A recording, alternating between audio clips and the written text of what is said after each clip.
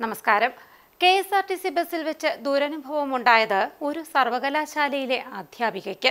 കണ്ണൂരിൽ നിന്ന് കൊച്ചിയിലേക്കുള്ള രാത്രി യാത്രയിലാണ് യുവതിക്ക് K S R T C ബസ്സിൽ വെച്ച് പീഡനം നേരിടുന്നത്. സ്ഥിരം K S R T C ബസ്സിൽ യാത്ര ചെയ്യുന്ന യുവതിക്ക് ആദ്യമായാണ് ബസ്സിൽ വെച്ച് ഒരു ദുരനുഭവം നേരിടുന്നത്. ആദ്യം താക്കീത് ചെയ്തിട്ടും യുവാവ് പീഡനം തുടർന്നതോടെയാണ് യുവതി കണ്ടക്ടർക്കും നൂറ്റി പന്ത്രണ്ടിലും വിളിച്ച് പരാതി നൽകുന്നത്. യുവതിയുടെ പരാതിയിൽ കണ്ണൂർ സ്വദേശി നിസാമുദ്ദീനെയാണ് ഇന്നലെ അറസ്റ്റ് ചെയ്യുന്നത്. വാളാഞ്ചേരി പോലീസാണ് K S R T C സ്റ്റാൻഡിലെത്തി പുലർച്ചെ രണ്ടരയോടെ യുവാവിനെ അറസ്റ്റ് ചെയ്തത്. ഞായറാഴ്ച രാത്രിയാണ് സംഭവം നടക്കുന്നത്. ബസ്സിൽ ഉറക്കത്തിലായിരുന്ന യുവതിയെ തൊട്ട് തലോടുകയാണ് നിസാമുദ്ദീൻ ചെയ്തത്.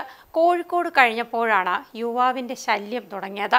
ഉരസലിനു പുറമെ കൈകൊണ്ടുള്ള തലോടലും കണ്ടതോടെ യുവതി ആദ്യം മാന്യമായി തന്നെ ഇയാളോട് കാര്യം പറഞ്ഞു. ഇനി ഉണ്ടാകില്ലെന്നാണ് അപ്പോൾ ഇയാൾ ഉറപ്പ് പറഞ്ഞത്. കണ്ടക്ടറോട് പറഞ്ഞ ശേഷം ഇയാളെ മാറ്റിയിരുത്തിയെങ്കിലും പിന്നീട് ശല്യം തുടർന്നതോടെയാണ് യുവതി വീണ്ടും പരാതിപ്പെടുന്നത്. നൂറ്റി പന്ത്രണ്ടിൽ പരാതി വന്നതോടെ വളാഞ്ചേരി പോലീസിന് നിർദ്ദേശം ലഭിക്കുകയായിരുന്നു. ഇതിനെ തുടർന്നാണ് അറസ്റ്റ് വന്നത്.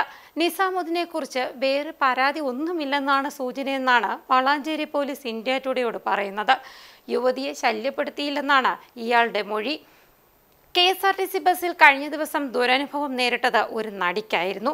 തൃശൂരിൽ നിന്നും കൊച്ചി യാത്രക്കിടെയാണ് നടിക്ക് ദുരനുഭവം നേരിടുന്നത്. അങ്കമാലിയിൽ നിന്ന് കയറിയ യുവാവാണ് യുവതിക്ക് നേരെ ലൈംഗികാതിക്രമം നടത്തിയത്. കണ്ടക്ടറോട് പരാതി പറഞ്ഞതോടെ ബസ്സിൽ നിന്നും ഓടി രക്ഷപ്പെടാൻ ശ്രമിച്ച ഇയാളെ കണ്ടക്ടറും ഡ്രൈവറും കൂടി ഓടിച്ചെന്ന് പിടികൂടുകയായിരുന്നു. ഇതിന്റെ അലയൊലികൾ തുടരുമ്പോൾ തന്നെയാണ് മറ്റൊരു യുവതിക്കും സമാന അനുഭവം കെ എസ് ആർ ടി സിയിൽ നിന്നും നേരിടേണ്ടി വന്നത്.